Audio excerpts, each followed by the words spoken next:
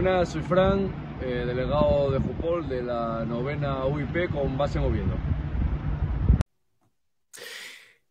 Y continuamos con la serie de Hoy Conocemos y estaba claro que estáis pidiendo que no se ha acabado, que faltan un par de unidades, bueno, tres unidades para ser exactos. Bueno, pues han hecho de rogar nuestros amigos del norte, pero aquí le tenemos, ya, ya lo estáis viendo, a nuestro amigo Fran. Fran es delegado de Jupol en la novena unidad de intervención policial con indicativo Cobra, como habéis visto en el vídeo de presentación. Y nada, pues vamos a conocer un poquito a los Cobra y que nos cuente un poquito, Fran, qué tal se ve por allí por el norte. Fran, bienvenido a Permiso para Clave y dichosos los ojos. Ya, muy buenos días, sí, al fin costó, pero bueno, aquí estamos, lo conseguimos. Bueno, Fran, que Oviedo, eh, el norte para todos los que conocemos el mundo, bueno, de la policía, guardia civil, ejército, etcétera, sabemos que es el destino dorado y que es muy, muy eh, jugosa y sobre todo muy difícil de conseguir. Sí, bueno, la unidad de Oviedo ahora últimamente se está viniendo con, con bastantes menos puntos. Pero hace años se tardaba una eternidad en llegar aquí. Vamos, yo, yo precisamente tardé unos 12 años en poder. Eh, espera, espera, espera, espera, eh. espera, espera, espera. No me lo puedo creer, espérate. No fastidies que se me había ido la cobertura. Se corta, ¿eh? Se te corta un pelín. Espérate, que voy a ver si. Un momentito.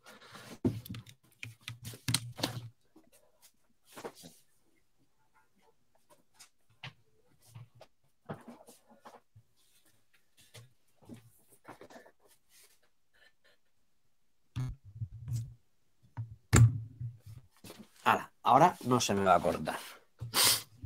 Ya le he puesto. Vamos, le he puesto el, el cacharrín de. Ya le he puesto internet por cable. No se me tiene que cortar. Pues nada. Ahí te irá mejor, sí. Disculpa que. Nada. Que empezamos. Venga. Hola a todos. Venga. Hola a todos y bienvenidos a otra entrega de Hoy Conocemos hecho de pero poco a poco eh, vamos cerrando el círculo. Se, te corta. ¿Se corta otra vez? Vas a, a, ver, no te preocupes porque esto es... Vale, no te preocupes porque esto eh, es un programa de grabación individual. A ti te va a coger lo mejor y a mí me va a coger lo mejor. O sea, que tú por eso no te preocupes. Vale, vale, vale. Vale, vale. yo te digo si ves que... Si... Por eso que... Vale, vale. Te digo si ves que aparezco... Vale, si ves que me... tú me escuchas cortado, eh, te esperas uno o dos y como si fuese normal. Tú me contestas normal y corriente, no pasa nada. Venga, perfecto, perfecto. Vale. ¿Vale? Venga, pues vamos al lío. Hola a todos y bienvenidos a una nueva entrega. Hola a todos a una nueva entrega de Hoy Conocemos Pues poco a poco vamos a círculo ya apareciendo esas unidades que nos pedíais para cerrar las unidades de intervención policial. En esta ocasión, y aunque se han hecho de robar, tenemos compañeros de la novena unidad de intervención policial con indicativo Cobra, como habéis escuchado al principio en el vídeo presentación. Y para ello, pues vamos a conocerla un poco más con nuestro compañero Fran, es delegado de la unidad de intervención policial. Fran, bienvenido a Provincia la Clave. Hola, buenos días, Pedro. ¿Qué tal? Y dichoso, y dichosos ojos, muy bien. Eh, la gente os, reclamaba como, como locos a, las unidades. Oye, que, falta Oviedo, que falta Canarias, que falta Pamplona. Bueno, aquí os tenemos y para nosotros es todo un orgullo. Eh, pero, Fran, eh, en esta fecha se viene muy fácil el simi. para todos los que conocemos policial, militar, son plazas eh, muy a la que cuesta muchísimo y muchos puntos poder acceder. Y eh, la UIP ha solido, se suele decir, digamos que es un pequeño atajo para volver a casa aquellos que sois de, España.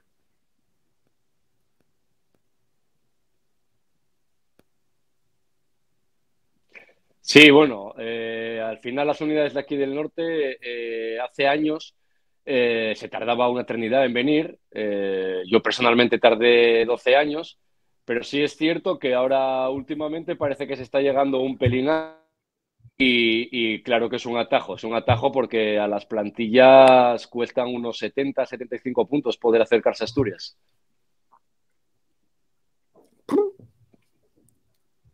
Al final, al final tienes que estar por el mundo fuera, lejos de, casa, de la familia, eh, unos cuantos años.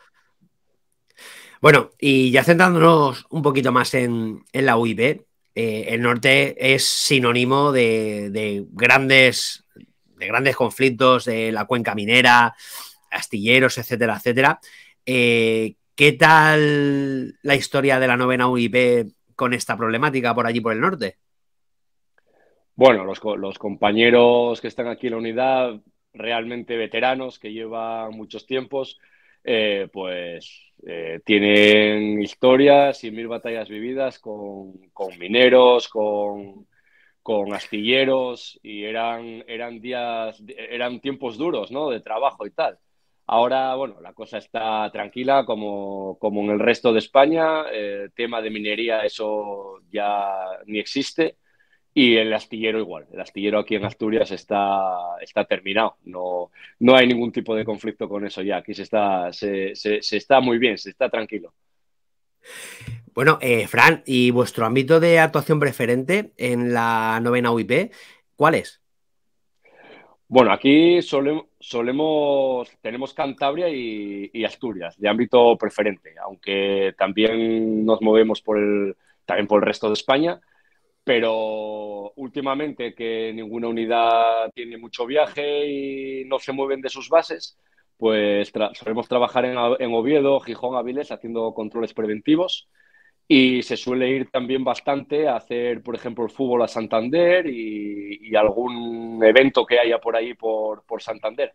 Pero si no, el resto en Asturias. Es raro, hacéis el, fútbol en Santander y los derbis tan calientes entre Sporting y Oviedo. Eh, generalmente es curioso, pero solemos ver que los que se baten el cobre suele ser la UPR, ¿verdad?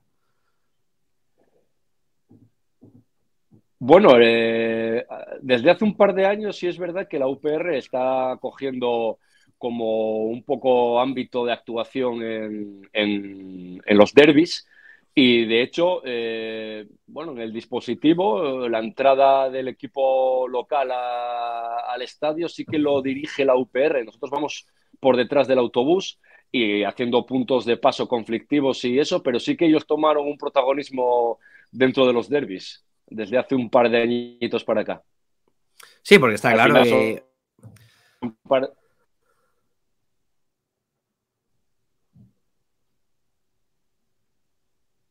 Al, al, final, que te decía que al final son, son partidos calientes y bueno, eh, a los derbis aquí estamos los dos grupos de aquí de Oviedo y suele venir mínimo un grupo de, de, de Coruña o Vigo eh, a apoyar porque, bueno, eh, hay bastante gente en ambiente, aunque sí es verdad y hay que decir que en los últimos años eh, la afición está portando ejemplarmente.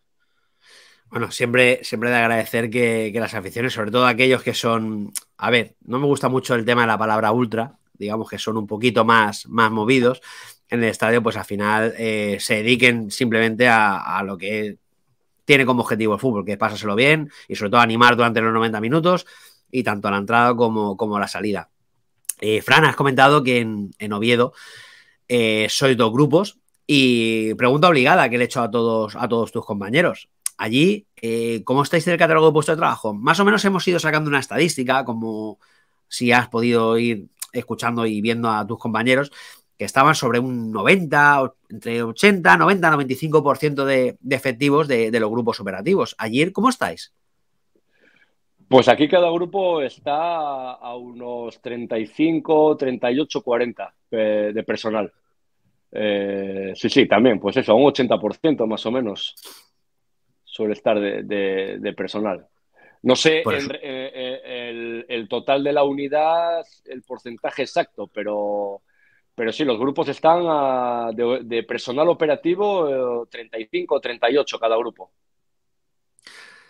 es curioso porque después sabes, bueno, tú lo, has vivido en tus propias carnes, que llegan las épocas de, los CGM y la gente se vuelve loca, saca la calculadora para ver lo que le puede costar. Ya no ir a, Oviedo o, Gijón, sin acercarse, ya se conforman cualquier comisaría local para poder acercarse allí. Y resulta curioso que, comentes que estamos, estáis, mejor dicho, a, un 80, 85, 90% en el mejor de los casos, habiendo plazas libres eh, en la novena UIP de, Asturias, eh, que podría ser, como hemos dicho al principio, digamos, un, atajo para poder y llegar al norte.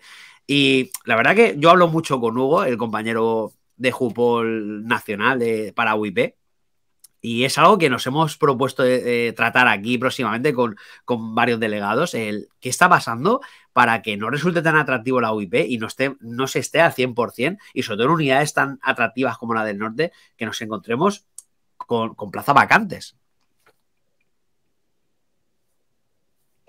Bueno, al final eh, las unidades de intervención, eh, por todo el mundo he sabido que, la vida dentro, el, tema dietas está soleto, al final te vas fuera de casa a trabajar eh, perdiendo dinero y, eso es, es que al final la gente está para al acercarse a casa, pero tener que estar saliendo de casa, que ahora últimamente no se sale mucho pero cuando sale, salir a, perder dinero, eh, eso es una cosa que, los dirigentes de las unidades o, de quien sea la competencia eh, tendría que, plantearse el por qué eh, la gente pues ya no es tan golosa venirse a las unidades como antiguamente, que, que por lo menos la gente del norte estábamos locos los que nos gusta este mundo por entrar a las unidades, porque efectivamente, aparte de ser un atasco, eh, un, atasco, no, perdón, un atajo para poder venir a casa,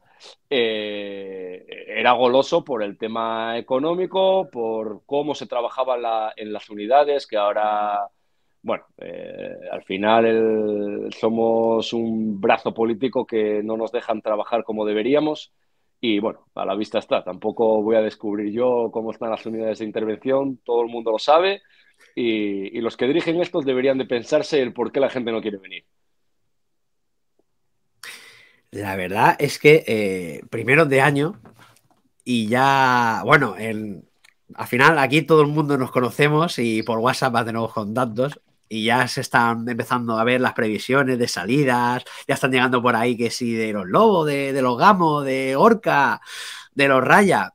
Y la verdad es que eh, es un poco curioso el ver cómo esas listas se están reduciendo a la mínima presión y realmente muchos compañeros eh, se están adhiriendo a, lo que tú acabas de decir. Es que para salir en las condiciones en las que se está saliendo, prefiero estar en base. Claro, es que al final eh, yo creo que en el mundo del trabajo, ya no te hablo de la policía ni de la OIP, en el mundo del trabajo, el que se va fuera de su casa a trabajar eh, tiene que tener un aliciente de algún tipo. Y en las unidades ahora mismo no lo hay. No lo hay porque te vas a. Nosotros desde aquí, desde Asturias, te vas a trabajar a Madrid y, no te llega la dieta. Lo que te dan de dieta no te llega. Yo siempre digo una cosa, lo hablo con, con la gente, con los amigos, y cuando les digo que no me llega la dieta, siempre me van a lo mismo. No, claro, es que las cervezas. No, no. Yo no hablo de las cervezas. Yo hablo solamente de, de vivir de vivir, ya no meto en ese tal el, ocio y, no merece la pena. Es que eh, la gente se piensa, eh, todos aquellos que no conocen el, este mundo, que todo es jauja y lo que está diciendo Fran eh, es que hay que dormir y la gente tiene la mala costumbre de, desayunar, de comer y de cenar.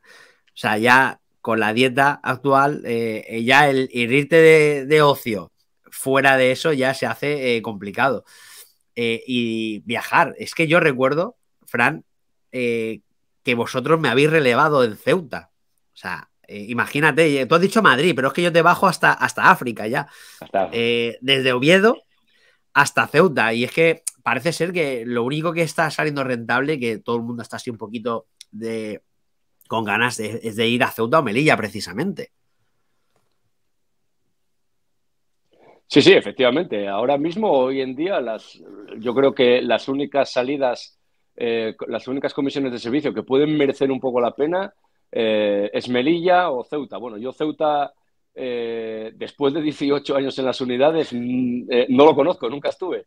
Pero, pero Melilla sí que sí, y, y realmente ahora es lo único que económicamente puedes decir, me voy fuera de casa y tengo un pequeño beneficio. Claro, que tampoco se crea la gente que nos hacemos ricos en Melilla, pero. No, no, no. Pero sí, es verdad que si, si dices eh, que de merecer la pena es la única salida, Ceuta y Melilla, que te, que te puede merecer la pena decir, pues oye, ya que salgo de casa, eh, vas a traer algún beneficio, ¿no? Pues sí, y desde aquí recomendamos a todo el mundo que visite nuestras dos perlas africanas, que son una auténtica pasada. Eh, bueno, pues como estás comentando, Fran, eh, los viajes mm, escasean cada vez más, pues al final nos estamos acuartelando. Aparte de hacer nuestras funciones diarias de la especialidad, pues bueno, allí en los Cobra, ¿cómo tenéis el tema de, de formación, de deporte, etcétera, etcétera? Coméntanos un poco. Bueno, mira, pues aquí en, Los Cobra el tema de eh, la formación se lleva eh, a rajatabla, cumplimos con las horas que, estipula Jefatura de Unidades. Y, en, el tema de deporte, aquí la verdad que no nos podemos quejar porque eh, en la, siempre que se puede, que prácticamente durante todo el año te pueden surgir cuatro, cinco, seis días que no te que no puedes hacerlo. Eh, en todos los servicios entre semana, eh, las dos primeras horas hacemos deporte. Aquí tenemos un gimnasio eh, en el cuartel, que últimamente, desde que llegó el, el, jefe de unidad nuevo, Iván, sí que se está mejorando mucho el gimnasio. De hecho, hay compañeros que les gusta mucho las artes marciales y tal, y incluso entre los compañeros se puso un dinero, se hizo un ring, y, la verdad que el gimnasio merece mucho la pena y, tenemos un buen sitio para poder entrenar. Y ya te digo, las dos primeras horas de, de, servicio, todos los días prácticamente, excepto ocasiones excepcionales que no se puede, se hace deporte.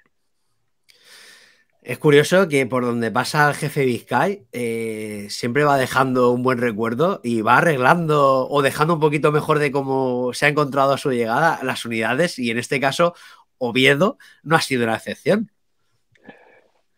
No, la verdad que aquí desde que llegó, eh, bueno, la, la situación laboral mejoramos, mejoramos la situación laboral y, luego hubo mejoras, pues eso, pues como el gimnasio, que por una partida de, la jefatura o tal, y, un dinero de mantenimiento que vamos poniendo los compañeros voluntariamente el que quiere para mantener el gimnasio, eh, se están haciendo unas mejoras importantes y la verdad que el gimnasio para, para entrenar día a día y el que le guste las artes marciales, el que le guste el crossfit, el que quiera hacer pesas, puede hacer perfectamente. Incluso da permiso también para el que quiera salir a correr eh, al exterior sin ningún problema. Bueno, pues vamos a ir finalizando, pero ya básicamente mm, yo creo que lo has sido o has adelantado todo, pero te voy a pedir y te voy a colocar en el marrón, entiéndeme marrón entre comillas, de, vender a, los, a los cobrados Oviedo. Y ya no me vale el que digas, tenemos un buen jefe, y tenemos un gimnasio cojonudo. Eh, ahora, pues te dejo a ti eh, esa entradilla para, para que, a ver, eh, todos los que han pedido en este CEM, que está próximo de, resolverse, y sobre todo para todos aquellos compañeros que tengan dudas de en el próximo CEM del próximo año, elegir a los cobrado Oviedo para que sea su unidad. Venga, vende la unidad. Bueno, pues bueno, pues nada, como dice Pedro, eh, efectivamente, no voy a volver a repetir lo que dije sobre gimnasio y jefe y todo eso, que eso ya está todo dicho, pero bueno, aquí al parte de todo eso, sí es verdad que el compañerismo y, el ambiente dentro de la unidad es súper bueno, eh, realmente no hay malos rollos entre nadie. Y, bueno, poco hay que animar a la gente que quiere venir a Asturias porque en realidad los que quieren venir aquí son los asturianos y, y, está, y están locos por venir a casa. eh, casi más les puedo decir que, paciencia, que todo llega y, que la unidad, pues nada, que aquí vamos a estar esperando al que quiera venir a trabajar y, a aportar como hacemos todos con los brazos abiertos. Y que ya lo que hay, ya lo que hay paisano. Y, que ya lo que hay, efectivamente. Pues, Fran, ha sido una técnica pasada poder hablar contigo, conocer a esos grandes compañeros de, Cobra Oviedo y, sinceramente, pues agradecerte aquí tu presencia y que hayas dado y arrojado un poquito más de, luz sobre la novena UIP, que teníamos a la gente deseosa de conocerla. Fran, pues muchísimas gracias por todo y hasta la próxima, compañero. Muchas gracias, Pedro. Un abrazo.